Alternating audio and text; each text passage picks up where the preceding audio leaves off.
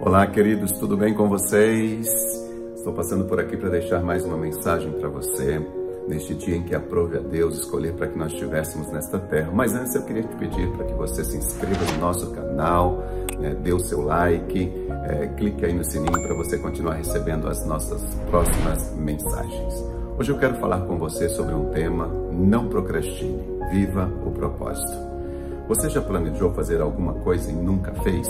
Pois é, você não é o único. E isso tem um nome: procrastinação. Mas o que é procrastinação? É a tendência natural, humana, de adiar as decisões ou ações benéficas, coisas importantes que nós temos que fazer ou decisões importantes que nós temos que tomar. No entanto, vamos adiando. O dicionário Aurélio, ele diz que procrastinar é adiar, demorar, protelar. Foi exatamente isso que aconteceu com um homem chamado Terá. Terá, o pai do patriarca Abraão, saiu da terra de Ur dos Caldeus, onde vivia, para ir a Canaã, mas infelizmente nunca chegou ao seu destino. Canaã, a terra prometida, era o destino dele, era o propósito dele, era o sonho que Deus tinha para ele. No entanto, ele morreu em Arã e nunca entrou na terra prometida. E sabe por quê? Por causa da procrastinação. Gênesis capítulo 11, versículo 31 e 32 diz que tomou Terá Abraão, seu filho, e Aló, filho de Arã, filho de seu filho, e a Sarai, sua nora, mulher de seu filho Abraão, e saiu com eles de Ur dos Caldeus para ir a Canaã. Foram até Arã, onde ficaram, e havendo Terá vivido 205 anos ao todo, morreu em Arã. O nosso alvo é uma vida vitoriosa. Cotidianamente passamos por sucessos e fracassos, nem sempre tudo dá certo na nossa vida.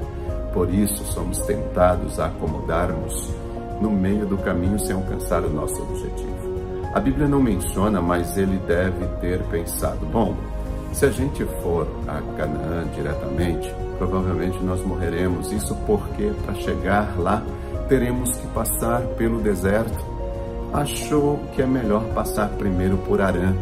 Ali é um lugar verde, uma região boa, muito próspera, tem fartura. Vamos desfrutar um pouco do lugar e depois a gente segue o nosso caminho. Arã nos nossos dias atuais pode ser tudo aquilo que ocupa o lugar de Deus em nossas vidas, às vezes o trabalho, posição social, a vaidade, é, valores terrenos, a teimosia, as atrações deste mundo. Tudo isso pode nos deter em Arã. Cuidado com a parada temporária em Arã, porque ela pode tornar-se definitiva. E se você é uma daquelas pessoas que quer ou já saiu da rota por não querer passar pelo deserto, pensando que o deserto ia te matar, quero te dizer que você nunca morre no deserto quando está cumprindo o propósito de Deus. Não saia do centro da vontade de Deus. Não saia do propósito. Ninguém é digno do oásis se não aprender a atravessar o deserto. E se você tem clamado para Deus mudar o clima do deserto por estar muito quente e isso ainda não aconteceu, não se desespere. Com certeza Ele está usando o clima do deserto para mudar você. Passar pelo deserto nesta terra faz parte da caminhada, no entanto, é você quem decide se é o deserto que vai te vencer ou você irá vencê-lo. Eu creio que terá ali em Arã, até tenha tido o desejo de partir e seguir ao seu propósito, ao seu destino. Eu creio que por várias vezes deve ter passado pela sua mente que ele deveria voltar à rota de onde ele nunca deveria ter saído mas, no caso dele, infelizmente, o tempo passou e ele nunca mais voltou ao seu plano original ou o plano que Deus tinha traçado para ele. Morreu com 205 anos e nunca chegou a Canaã. E sabe por quê? Porque ele foi adiando, adiando, adiando essa saída. Se Deus te chamou para cumprir ou para viver os sonhos dele, o que é que você está esperando? Não faça como terá, não procrastine, viva o propósito, Talvez você já tenha dito: ah, um dia eu farei isso, um dia eu farei aquilo, um dia eu serei aquele homem de Deus, um dia eu serei aquele bom marido, um bom pai, um bom filho, etc, etc, etc. Um dia, um dia, um dia. E o dia passou, mas não chegou esse dia. Ah, um dia eu vou ter um tempo de qualidade com a minha família, um dia eu me envolvo mais com as coisas de Deus, um dia eu abrirei a minha célula, um dia eu vou ler a Bíblia toda, um dia eu perdoo aquela pessoa, como eu disse, um dia, um dia, um dia, e esse dia nunca chega. Eu quero te dar uma boa notícia. O dia chegou e ele é hoje. Muitos de nós lutamos contra a procrastinação, mas eu vejo o quanto é difícil para muitos vencer.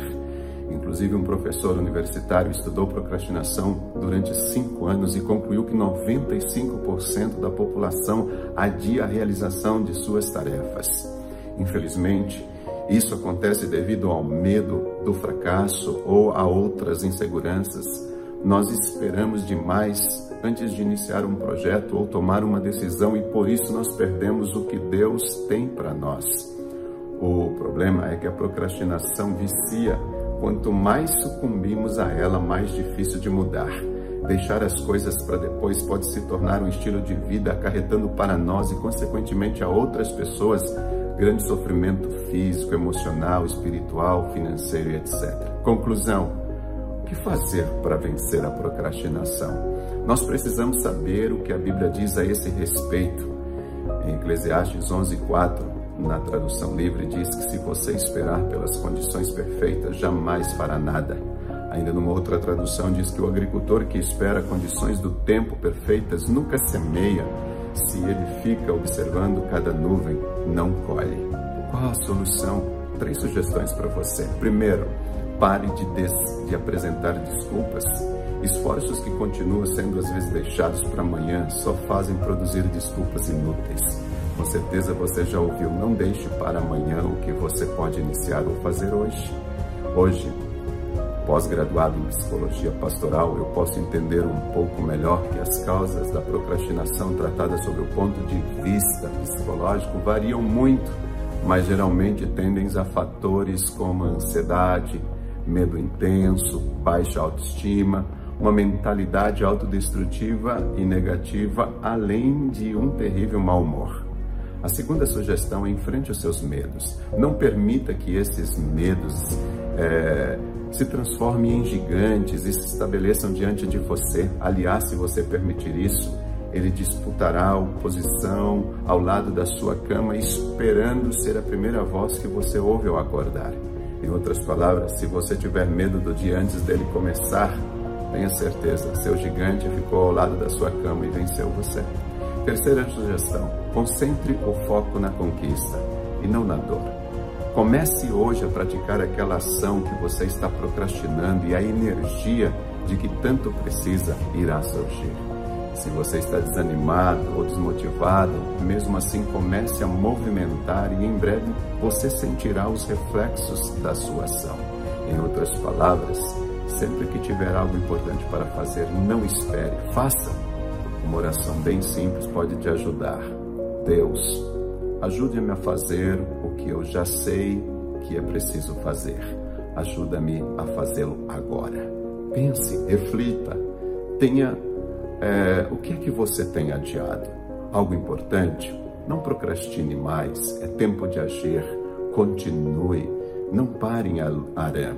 Ali não é o teu lugar definitivo, prossiga rumo a Canaã. Não procrastine, viva os sonhos que Deus tem para você. Receba um forte abraço e um beijo no teu coração.